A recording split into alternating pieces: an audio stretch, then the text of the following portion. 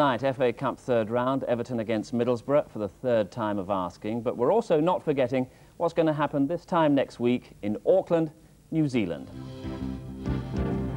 We'll have a full look at the Commonwealth Games scene, especially the kind of milers and 1500 metre men that Sebastian Coe is determined to follow.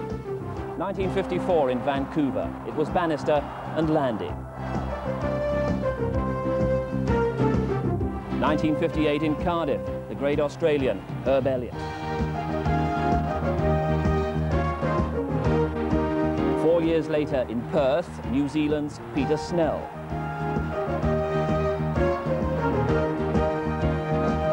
Then the emergence of the Kenyans, 1966 and 1970, Kip Keino.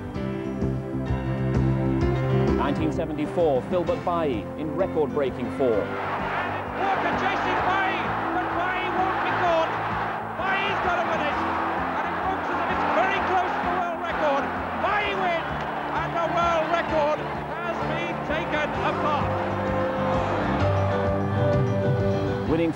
In Edmonton 1978, Dave Moorcroft. Then in 82 and 86, 1500 metres success, back-to-back -back for Steve Cram. For Sebastian Coe, a great Olympic star, has yet to take gold in the Commonwealth Games. Auckland will be his last major championships. I've not been through a Commonwealth Games properly, and I wanted to leave athletics on that kind of platform. I didn't want to drift out in a, mm -hmm. in a Grand Prix race or something that was, was insignificant. Lloyd Honeyghan has a target as well to regain the world welterweight title he held in the 80s, to reproduce the kind of form he showed against Jorge Vaca. Vaca's been trapped on these ropes now for nearly a minute. He's got him! He's got And with us in the studio, Mark Breland, the WBA World Welterweight Champion, and we'll see him sign the contract that will give Honeyghan his chance. But it's a tough chance against a former Olympic champion, beaten only once in his professional career, a man of class and power who we'll be hearing from later. Five Nations Rugby Union Championship starts on Saturday, 10 years from their last Grand Slam. Can England repeat the achievement? And what's the form of the rest? England's captain, Will Carling, will join us later.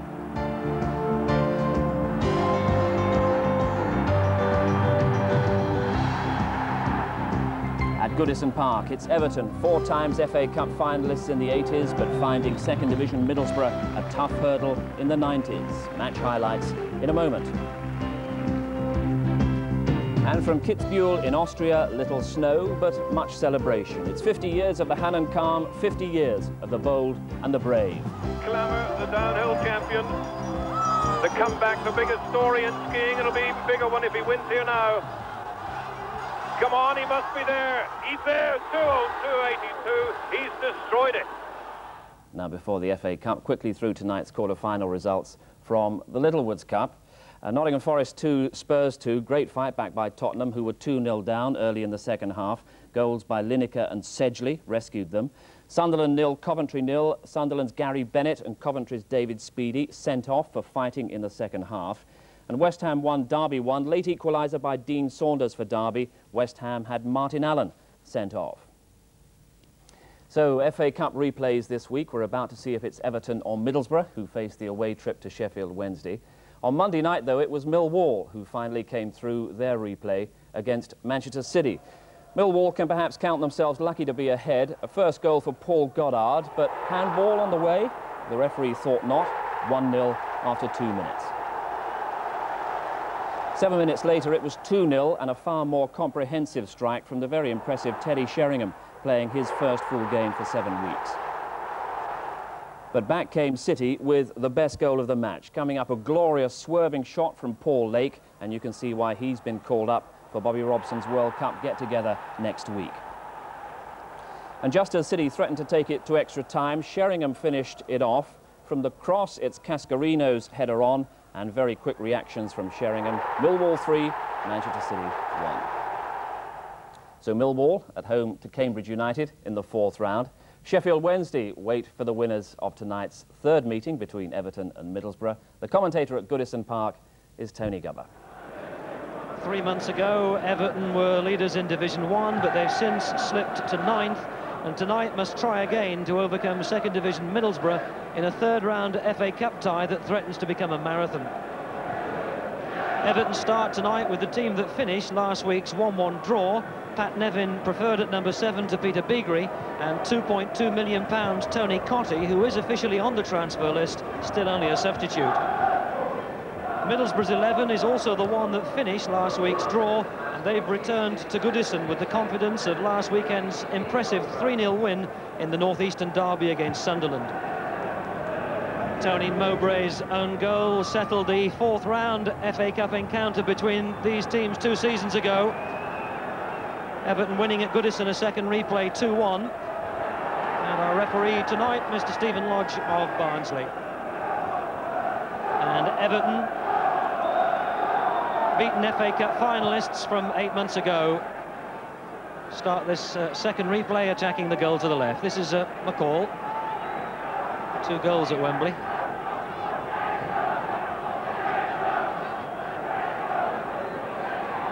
Everton, who've uh, only had one win in the last five games.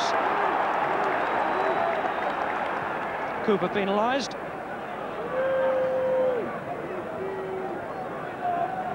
Middlesbrough have never been beyond the sixth round of the FA Cup. And there's four to look for in the box. Came off McCall. McCall again, and Pears should have that.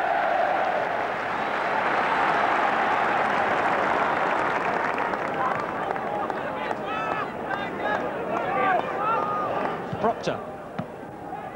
Ripley. To Proctor again.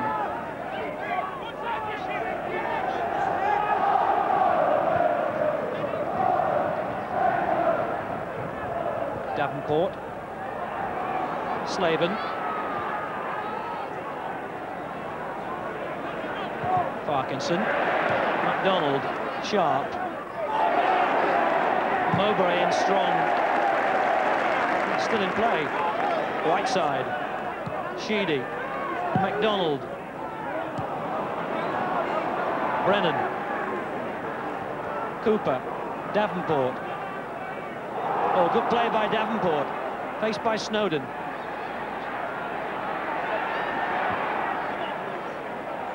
Well, he's finally squeezed it back to Cooper, and Middlesbrough won a good ball in here. Ripley. Middlesbrough holding possession really well. Oh, Slaven! To go down, there's a real chance. Bernie Slaven claps his hands. Well, Middlesbrough had kept possession for quite a long time. They'd built with patience and purpose. And Slaven put it well over the bar. Full back to full back, Snowden. McCall. Well, Middlesbrough are crowding them out and giving them no room at all. Davenport to Slaven. Kerr's made a break. Ripley. And still Everton haven't cleared their lines. Parkinson again! Oh, just like he did a week ago. And also at home against Sunderland in the derby match of the weekend. Blistering 25-yard shot, and this time Southall held it. Tony Mowbray back in the action after five minutes off the field for treatment to an injured eye and stitches. Mowbray's good header again. He gets good distance on those headers, Tony Mowbray. Again, Ripley's the man they pick out.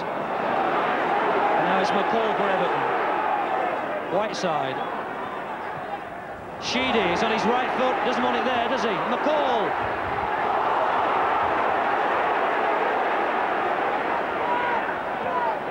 Nevin. Nice close control by Nevin. But again, nothing comes of it. Slaven. Not sure what uh, Simon Coleman intended from that. Parkinson. Oh, he's trying to put it back to his keeper. He's found Sharp. Pears is out of goal. The angle was just too acute, and no player had got far enough forward. That'll be a corner. Oh, let off for Middlesbrough. Well, it was Gary Parkinson, the hero seven days ago, whose poor back pass put in sharp. Ten minutes to go to half-time. Crowd appeal for climbing, and hooked away by Davenport. Kerr, Ripley again, look at the space he's found down this right-hand side. Parkinson makes the overlap. They've got Everton stretched now, and there's four to look for. Oh, off the feet of Snowden for the corner. We might have had a goal at either end. Brennan shot. And now, having almost scored 30 seconds ago, Everton have got to defend desperately. Proctor to take the kick. And safely held by Southall. Well, you can't take your eyes off this one, can you? Look at Nevin. He'll have to do it on his own. Everton just didn't get players forward in support of Nevin quick enough.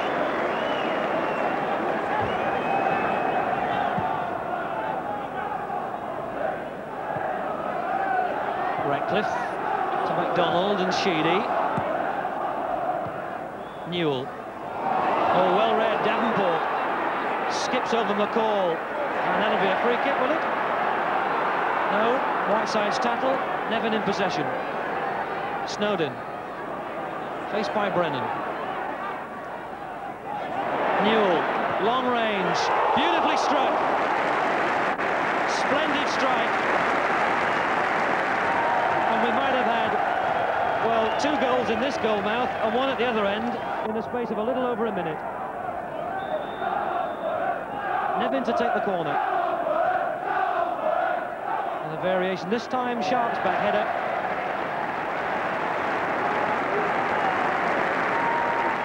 Well, Mike Newell hasn't scored since October. But he was fingertip close then. Oh, it was a poor attempted clearance by Parkinson. McCall. Newell. Snowden. To Sharp. Oh, took it well on his chest, Graeme Sharp. Nevin.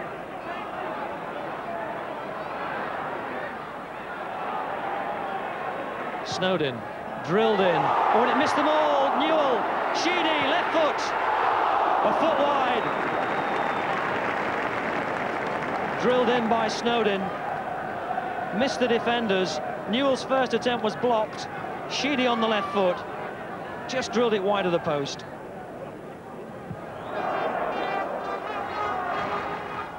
Cooper. Brennan. Cooper again. That was blocked by McCall. Nevin. Sheedy. Hustled out of it by Proctor. Ripley. Slaven's available at the far post if he just picks him out. Oh, it it hit the back of an Everton defender. Well, if you have a criticism of Ripley, it would have to be that he tends to run with his head down. Stuart Ripley was beautifully found on the right there by Proctor, but look at Slaven. It's a perfect ball from Proctor, and he wanted a first-time cross over all the defenders. And I'm not sure whether Snowden, I think it was, who headed it out, realised what had happened. Cooper. To Davenport. Well, they're certainly using every inch of this pitch tonight. Brennan.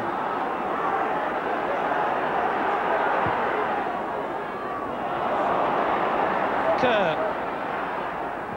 Crossed in right-footed. Oh, Slaven! Well, the flag had gone up and it wouldn't have counted.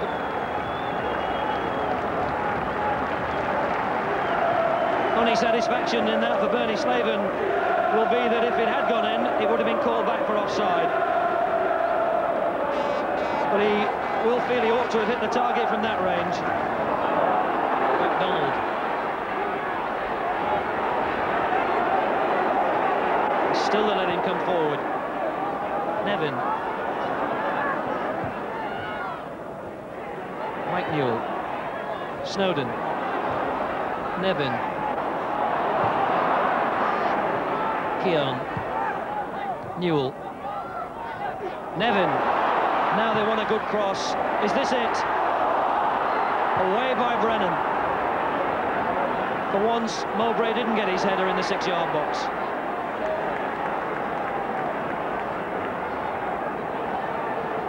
Parkinson for Ripley, who's run his heart out here tonight. He's never stopped running. Slaven left it for Brennan. It's still in play.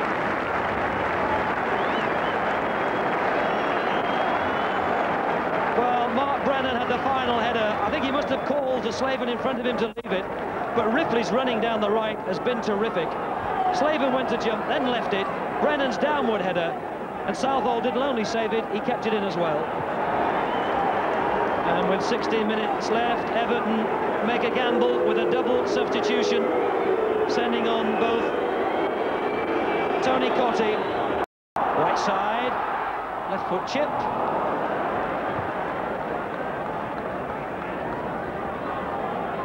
And there's Atteveld, 22-year-old Dutch under-21 international, and they've come on to replace Kevin Sheedy and Mike Newell.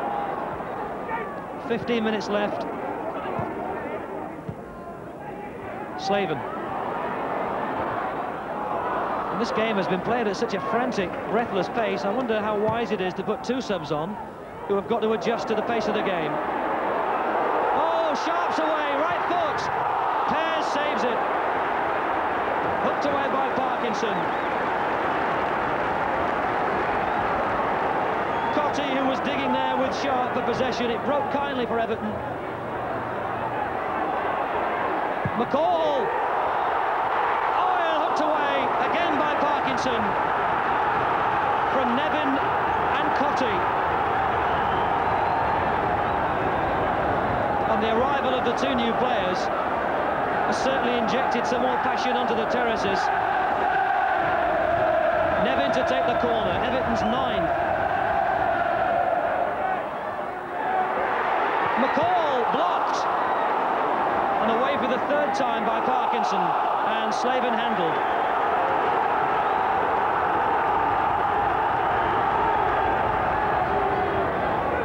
But what a great save by Stephen Pears from Sharp.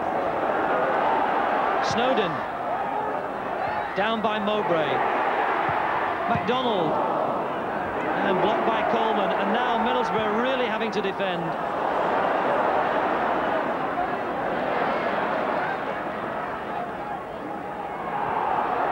Ratcliffe.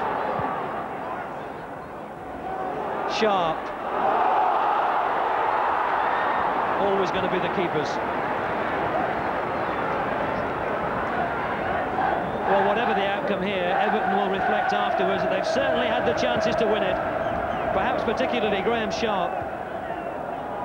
But you still feel it's going to be one moment and perhaps one mistake which finally settles this second replay. Nevin. Cottee twists and turns, left foot. Again saved. Mowbray waited too long. Nevin.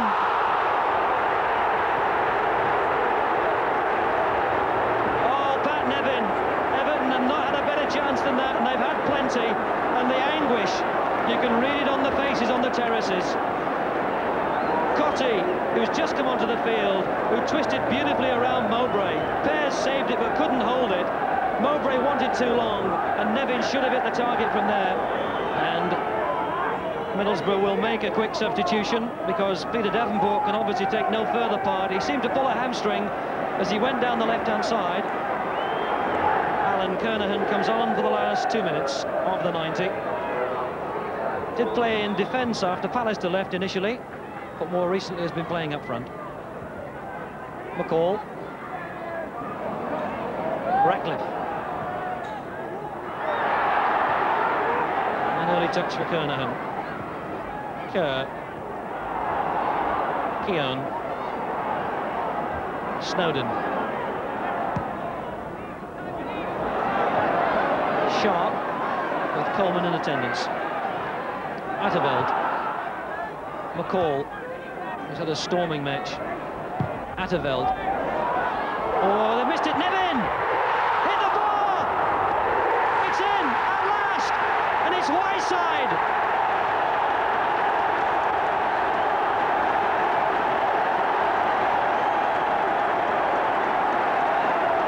You can sense the relief. It's the 89th minute, and Norman Whiteside has scored a priceless goal for Everton.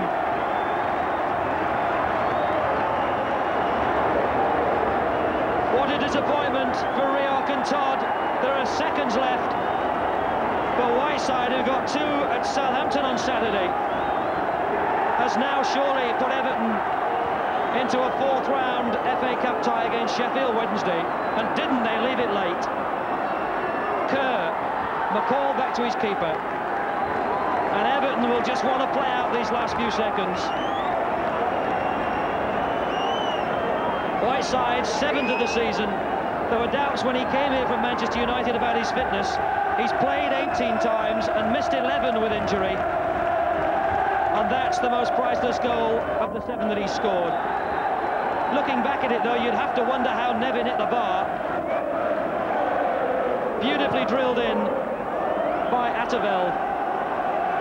Nevin hit the bar. And it was Cottee who had the shot. And Whiteside on the line. The whistles you can hear come from the crowd. Whiteside back defending. Once scored the goal, of course, that beat Everton in an FA Cup final for Manchester United back in 1985. And there's the final whistle. It's a big disappointment to Middlesbrough, who fought long and brave, but in the end, it was that goal in the 269th minute of this cup tie by Norman Whiteside, which has put Everton through by the skin of their teeth. They'd had so many chances to wrap it up. They'd all gone begging, and finally Whiteside, with seconds left, and Middlesbrough thinking of extra time. What a finish, and what a glorious cup tie. Everton won, Middlesbrough nil. Everton, but only just, and they're now away to Sheffield Wednesday in the fourth round. Well, now it's boxing, and Lloyd Honeyghan's dream of winning the world welterweight title. Nevin to Snowden to the best left foot in the business. Everton appear to be having another revival with all their recent goals coming from midfield. McCall's cross, partial clearance, should be no problem as it falls for Sheedy's right foot. now there's a thing for Ron Atkinson to contemplate over the next seven days.